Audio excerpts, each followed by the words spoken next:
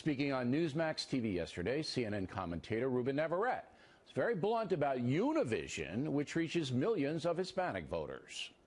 Univision has again shown itself to be a partisan network in favor of Democrats, looking making Democrats look good, making Republicans look bad. But what about NBC, CBS? I mean, the, a lot, a lot of people, including me, would say they're totally biased against Republicans. I agree. I would agree with that as well. I think CNN also fits that category. At times, CNN's probably the bigger problem and affects a lot of the networks as well. They cover the wrong stories. Pretty bold statement from Mr. Navarrette, who is an honest man. Full disclosure, Ruben did say Fox News is biased in favor of Republicans. All right, there you go, ladies and gentlemen. We welcome back the man of the hour who made all this uh, news uh, with us and for us, Ruben Navarrette Jr., our friend, uh, syndicated columnist and CNN contributor. Welcome back, sir.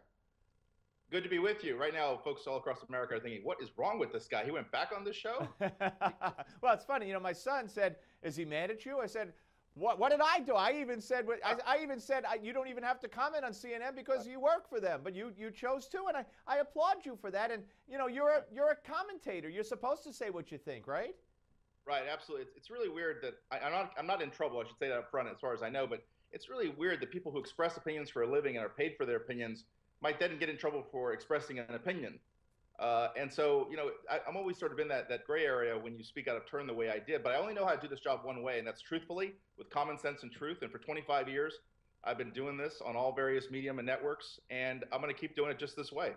Are you surprised that uh, you know the uh, the highest rated uh, cable news show or you know in, in the world uh, picked it up and, and went with it as as a talking point story, which is the lead story, and then had a debate on it with uh, Monica Crowley in a panel? You know, I've been on um, CNN for 20 years uh, and been under contract for eight, and I have uh, been on O'Reilly's show at Fox for seven, eight times, and he's great. Every time I'm on, he's great. He's said great things about me before, so I was not surprised that he picked it up. I'm, I'm flattered that he referred to me as an honest journalism uh, journalist. It's important uh, that he said that, and I, I'm glad he did. So I wasn't surprised. What I've been surprised by, Steve, is the fact that people are shocked. I mean, the fact that folks on the right would be shocked that I said that Fox News was clutch the pearl, you know, toward uh, Republicans. It was biased toward Republicans. No kidding. The fact that liberals would be shocked that I said that most of the other networks uh, were biased against Republicans and in favor of Democrats. And no kidding. These things are really common sense observations for most of us. And it's a little confusing that folks don't see what we see. Right. And let me, you know, I have no axe to grind with Fox. Uh, you know, I've done Fox Radio uh, in the past as a fill-in for John, my buddy John Gibson and, and others. But uh, you know, to, you can't really compare MSNBC, for instance, to Fox because MSNBC, you don't find you know, an honest, open debate with one-on-one panels uh, like they had about your situation with uh, Monica Crowley and um, uh, right. Kirsten Powers. You know, there's very, very, very few, if any, uh, right. real conservatives as guests and sure. certainly not as hosts on MSNBC. Where Fox, I could run down a list of contributors and a couple of hosts that I would call liberal. Yeah. Here, well, I'm glad you said that about hosts because I think that is a misnomer. You're right about that. There are people who work at Fox who are liberal there are people that you and I know personally who are conservative who work at CNN. Uh, so when we get into the whole notion of saying an entire network of people is you know liberal or conservative, it gets it gets a little bit messy. I would say that on your point on MSNBC, it's absolutely correct. And let me let me stick the knife in a little deeper on our friends over there to say that what galls me is when I turn to MSNBC once in a blue moon, I hear them talking about immigration, Hispanic issues without a single Hispanic on the panel. Because when you're a white liberal at MSNBC, you don't feel you need to bring in Hispanics to be able to bring in that perspective. And I have, as I said, been on Fox News before, and I've been on CNN and elsewhere, where they do bring in Hispanic commentators and journalists to talk about these issues. So that's one of the things that galls me about MSNBC. They are just smarter uh, and and much more closer to God than the rest of us. So so MSNBC, so Fox is much fairer than MSNBC in your view. I think on that score, yes. But I, you know, here here's what I see when I watch CNN or ABC. I see like on this week, I might see a whole bunch of liberals and one token conservative on the panel. But when I flip the switch to Fox, I see a whole bunch of conservatives and one token liberal on the panel. Uh, you know, let's just call it call it like it is. I mean, bias, and this is I think Steve, one thing that confused me as well. I'm in the bias business. I get paid for bias. I'm supposed to be biased. I'm not afraid of the word biased. As a columnist, as a commentator, when I stop being biased, I start writing things like on the one hand, on the other hand. So the very fact that people were so terrified of the word bias was confusing to me because that's my bread and butter. Right. No, I got you. All right. Uh, what we're going to do on the uh, second part here uh, uh, when we come back with part two with Ruben Navarrette is talk a little bit about uh, another piece that he recently wrote. Uh, you know, doubling down on Univision and other networks, and when it comes to the immigration issue. So don't go away. More with Ruben Navarrette coming up.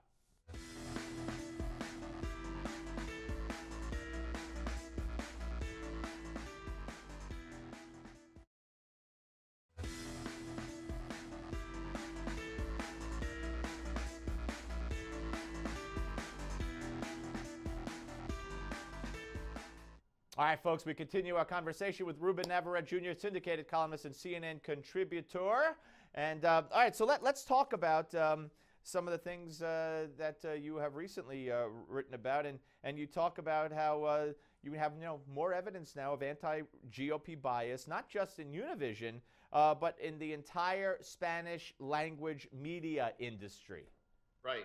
This was actually served up to me just today, hours ago, in my email by a group called America's Voice which is a liberal, Democratic leading advocacy group for immigration in uh, our nation's capital. It takes in millions of dollars a year from Carnegie and the other foundations uh, and uh, tries to get immigration reform through. And it thought it was doing us all a favor by sending out an email saying, "Hey, there's this big anti-GOP, you know, um, attack on immigration, and look at all these Spanish language media that are pointing it out." And so what you have is not just Univision, but Telemundo, which is owned by NBC, La Opinión, uh, the major newspaper in the country, a daily newspaper for Hispanics in Spanish. Every Spanish language outlet I can point to has a de- demonstrable anti GOP bias or Republican bias. And the problem I have with that is the Democrats do not show up to the immigration debate dressed in white. They're not the angels of this debate. Their hands are guilty. They're as guilty of anybody as anybody of being the problem in the immigration debate and the reason we're not having immigration reform. So I think these these Spanish language networks really do a disservice to their readers and listeners and viewers by perpetuating the myth that the Republicans are the only problem. And, and, and what percentage of uh, the Hispanic community in this country do you believe uh, watches these Spanish language outlets? We have those numbers. It's really small. 80% of Hispanics speak English, just like I'm speaking with you now. We take our news in in English. Uh, and so that's the, the debate is really best had at CBS, NBC, ABC, and those places. But here, in the case of Univision, when it's tailoring to that Spanish speaking audience, which in many cases are immigrants who can, in fact, vote, they're legalized, they're naturalized, they're U.S. citizens, and they're taking their news from Univision, they're getting a very skewed view that somehow if you just got rid of all the Republicans, the Democrats would rain down on immigration reform. It's not that way. Yeah, they had two years to do that and uh, opted not to do it in, uh, in 09 and, and, and 010. Let, let, let, me ask you, what do you think is going to happen here?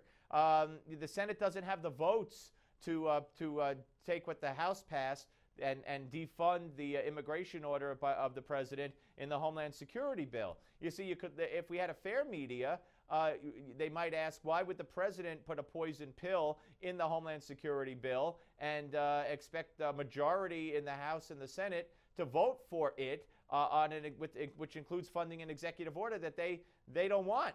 Uh, but of course, the media and I'm not talking about the Hispanic media, the media is covering it the other way. Why won't the Republicans just pass this bill without defunding it and then just worry about it separately? Um, so, uh, how is this going to play out?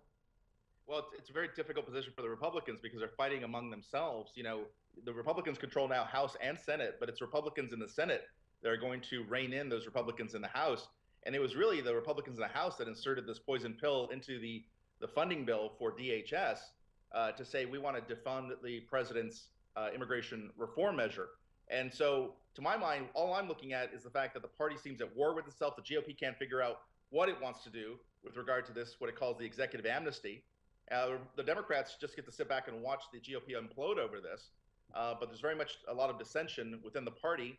And don't be surprised again if it's the Senate Republicans who end up thwarting the plans of the, of the House Republicans. Yeah, no, I, I, I that's that's what's going to happen, uh, or at least that at least the Senate's going to hold firm. Whether or not the House will then hold firm on their own, and there will be no Homeland Security bill, um, I don't know. I don't know what. Uh, I, I, know John Boehner would certainly rather, you know. rather do anything uh, than that. I was going to say something, I'd probably get myself in trouble. But anyway, hey, Ruben, great to talk to you. Always appreciate your honesty and candor, and we'll speak to you soon. Thank you, my friend. Take care. Ruben Navarrette, ladies and gentlemen, Jr., um, uh, joining us uh, once again.